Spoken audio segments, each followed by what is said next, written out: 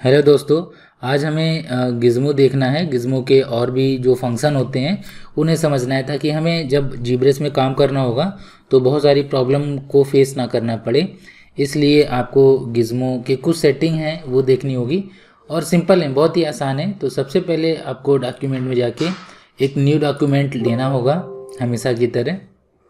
अभी new document में आपको कोई भी मॉडल ले लेना है तो यहाँ से हमें चलना है लाइट बॉक्स में।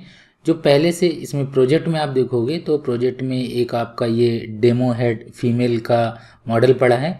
इसको आप डबल क्लिक करना और डबल क्लिक करने के बाद में ये आपके वर्क स्पेस में थ्री सीन में आ जाएगा। फिर आप इसको रोटेट वगैरह करके आ, इसको फिट कर लेना अपने स्क्रीन के सामने ऐसा। ये लास्ट क्लास जिसने भी नहीं देखी कि कैसे हम सीन को कंट्रोल करते हैं आप लास्ट वीडियो ज़रूर देखिएगा। फ़िलहाल में यहाँ पर हमें क्या करना है ये हमारा एक फ़ीमेल का मॉडल है एंड इसमें कुछ चीज़ों को हम ऐड करते हैं। तो अगर आपको और भी चीज़ें ऐड करनी है तो आप ये सब टूल में जाना और सब टूल में नीचे ऑप्शन आपको मिलेगा अपेंड का। तो आप इस अपेंड को क्लिक करेंगे तो आप थ्री डी मैसेज के अंदर आ जाएँगे। ये बेसिक शेप्स हैं इनमें से आप कोई भी बेसिक शेप यहाँ पर अटैच हम्म, कर सकते हैं। तो हम यहाँ पर ये रिंग थ्री नाम का एक बेसिक शेप है, इसको यहाँ पर ऐड करेंगे अपेंड कराएँगे। अपेंड का बेसिकली यही मतलब होता है कि आप जो भी एग्जिस्टिंग मॉडल है, उसके साथ में एक नया मॉडल ऐड करने जा रहे हैं।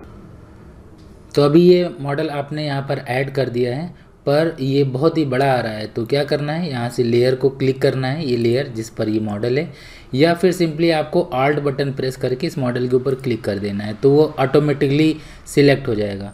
अब आप इसमें से कोई भी टूल ले सकते हैं मूव स्केल या गिज्मो का कोई भी टूल ले सकते हैं तीनों, क्योंकि तीनों टूल एक ही साथ मिलते हैं। गिज्मो आ गया आपके, यहाँ पर देखिए सर्कल है, ये एरो आ रहा है, इससे मूव होगा और ये बॉक्स आ रहे हैं, इससे यहाँ पर आप स्केल कर सकते हैं। तो अभी हमें इसको स्केल डाउन करना है तो बीच वाला सेंटर वाला पॉइंट आपको लेना है। ये ये देखिए, सारे ऑब्जेक्ट आपके छोटे बड़े हो रहे हैं, ये। सभी ऑब्जेक्ट छोटे तो ये प्रॉब्लम है। प्रॉब्लम नहीं है आपकी सेटिंग में अभी हमने आपको बताया कि गिज्मो की सेटिंग थोड़ी सी आपको आ, उस पर काम करना होगा।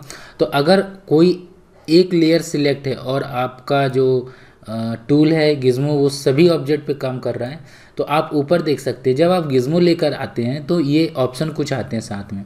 तो सबसे पहला ऑप्शन ये राइट हैंड पे आप देखिए ये कई सारे यहाँ पर टिक लगे हुए हैं। आप एक बार इसको कहीं पर भी क्लिक कर दोगे तो ये कई सारे नहीं होकर के एक सिंगल टिक लगा होगा। इसका मतलब ये जो भी लेयर यहाँ से सिलेक्ट है, बस उसी लेयर पे ये काम करेगा। तो अगर स्केल आप कर रहे हो तो सेम लेयर स्केल होगी। सारे लेयर्स स्केल नहीं होंगी।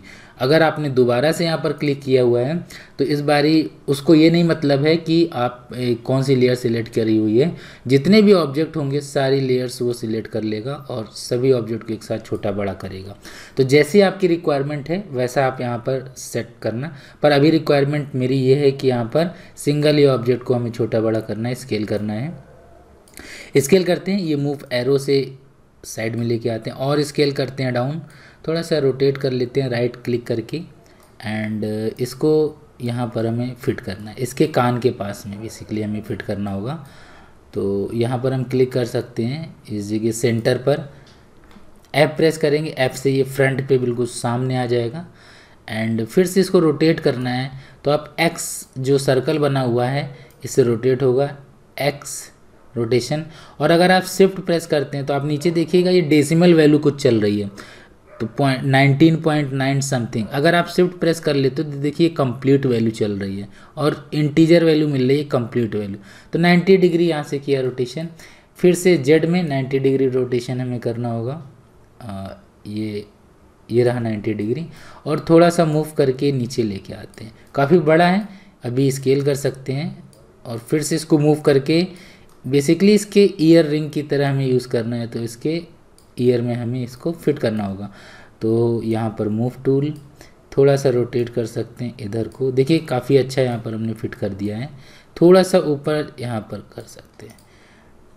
अब ये गिज्मो आपको हटाना है यहाँ से। तो आप अपने कीबोर्ड से क्यू बटन जो है, उसको प्रेस कर सकते हैं। ये डब्लू के पहले क्यू बटन है क्यू फॉर क्यून या फिर यहाँ से आप जा कर के ये सीधा ड्रॉप पे क्लिक कर सकते हैं। तो आपका गिज्मो चला जाएगा। तो एक गिज्मो तो यहाँ चला गया। अब ऐसा ही अगर आपको दूसरे साइड में करना है तो आप फिर से यहाँ जाएँगे और अपेंड कराएँगे एक और।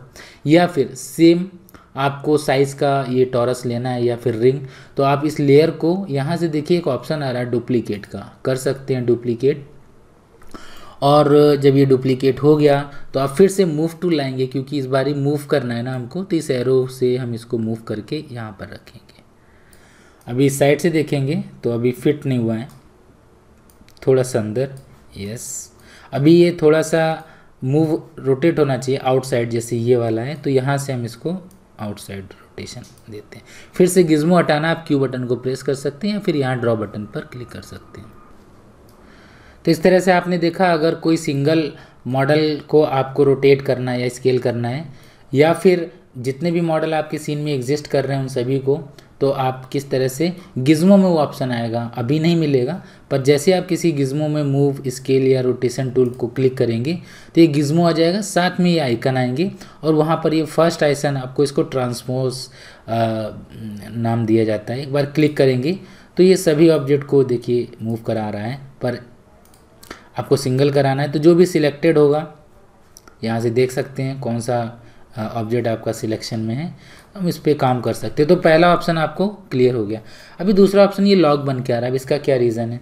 तो चलते हैं, हम इस ऑब्जेक्ट को सिलेक्ट करते हैं ऑल्ट के साथ क्लिक करते हैं इसके ऊपर, या फिर लेयर से, जैसा भी आपका, यहाँ पर देखिए ऑल्ट के साथ क्लिक किया।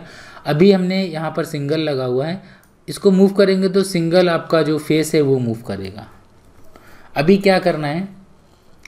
हम यहाँ पर देखिए ये लॉक बना हुआ है यहाँ पर, इस जगह। अगर हम ये देखिए लॉक ओपन भी हो रहा है ओपन हो गया, फिर क्लोज हो गया ओपन हो गया। ये लॉक बेसिकली इस एक्सिस के लिए होता है, ठीक है? अब फॉर सपोज़ आपका अगर ये गिज्मो यहाँ पर रखा हो मूव करेंगे तो ऑब्जेक्ट यहाँ से मूव हो रहा है। अगर रोटेट करेंगे तो ये ऑब्जेक्ट यहाँ से ही रोटेट भी होगा। इसका सेंटर पॉइंट ये है। सेंटर एक्सिस लेकिन अगर आपको लगता है कि सेंटर एक्सिस यहाँ नहीं होना चाहिए आई थिंक नीचे रखना चाहिए हमको तो हम ऑल्ड बटन को प्रेस करके यहाँ से ये नीचे ला सकते हैं। अब देखिए, इस वाले ऑब्जेक्ट का सेंटर एक्सिस नीचे आ गया। रोटेट करेंगे तो ये नीचे से रोटेट होगा। या। फिर आपको लगता है कि ये यहाँ से रोटेट होना चाहिए इस जगह से तो अब ऑल्ट प्रेस करेंगे, ये लॉक खुल गया। यानी कि एक्सिस ओपन हो चुकी है यहाँ से। अब आप इसको रोटेट करेंगे। देखिए, वहाँ से रोटेट हो रहा है।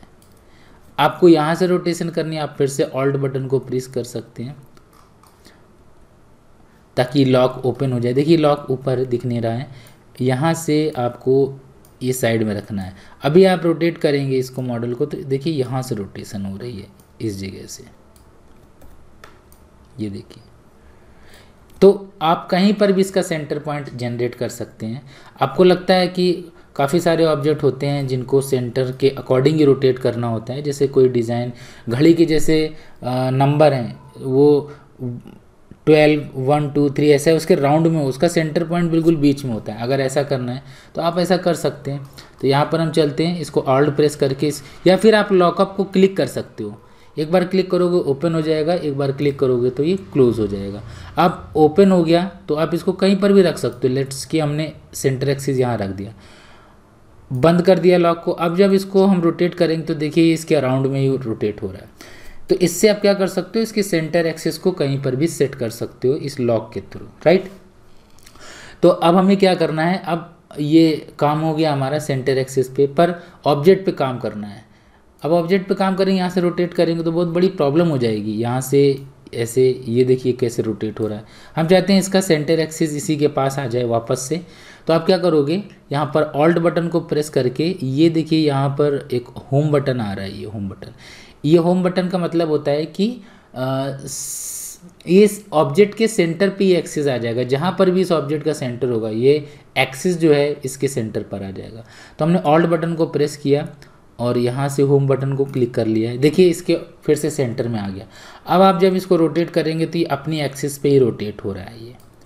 तो जब आपको ज़रूरत होगी तो आप इसका सेंटर एक्सिस कहीं पर भी सेट कर सकते हो अपने अकॉर्डिंग ये लॉकेट लॉकअप को ऑन करके। या फिर ये होम बटन को क्लिक आप तब करोगे जब ये सेंटर एक्सिस के पास नहीं होगा, कहीं और रखा होगा लेट्स की यहाँ पर रखा हुआ है। अब हम चाहते हैं कि यहाँ से रोटेशन अगर करेंगे तो ये प्रॉब्लम आ रही है इस टाइप से। आप यहाँ से देख सकते हैं टॉप से। ये देखिए इस टाइप की प्रॉब्लम हम चाहते हैं अपने एक्सिस पे ही रोटेट करे तो इसका सेंटर एक्सिस इसके पास ही होना चाहिए। तो आप ऑल्ट प्रेस करोगे, इस होम बटन को क्लिक करोगे, देखिए इसका सेंटर एक्सिस यहाँ अपने पास ही आ गया है। ये। तो इस तरह से हमने ये दो आइकन को यूज़ कर लिया है। अभी एक आइकन और है, ये रोटेशन ये क्या होता है? फॉर सपोज़ हमने ऑल्ट प्रेस किया, ये लॉकअप ऑन हो गया है लॉक जो बना हुआ है, और कि ऑब्जेक्ट के किसी भी जगह पर हम, हमसे क्लिक हो गया लेट्स की यहाँ पर क्लिक हो गया। तो आप देखोगे कि आपका जो सेंटर जो गिज्मो है, वो कहाँ पर चला और कैसे तिरछा हो गया, टेढ़ा मेढ़ा सा हो रहा है। अगर ऑल्ट प्रेस है और आपने यहाँ पर क्लिक कर दिया तो देखिए फिर भी ये टेढ़ा मेढ़ा है, ये देखिए। अब आप इसको ऐसे रोटेट करोगे तो प्रॉब्लम आ जाएगी, ऐसे रोटेट करोगे तो भी प्रॉब्लम आ जाएगी। ठीक से रोटेशन नहीं मेंटेन कर रहा है। तो अब आपको करना क्या है? आपको वापस से ऑल्ट प्रेस करना है और ये जो रोटेशन वाली बटन है, इसको क्लिक कर देना है। देखिए, आपका जो गिज्म है, बिल्कुल परफेक्टली बिल्कुल जैसा होना चाहिए, वैसा हो गया है। सीधा सा। अब इसको रोटेट कर सकते हैं आप आराम से। ये देखिए, यहाँ से रोटेट हो जाए ठीक है? आपको बिल्कुल सेंटर पे चाहिए, आप आल्ट प्रेस करके होम बटन को क्लिक कर सकते हैं। तो इस तरह से और आल्ट प्रेस करके आपको मैनुअली करना है तो कहीं पर भी सेट कर सकते हैं, जहाँ पर भी आपको ठीक लगे।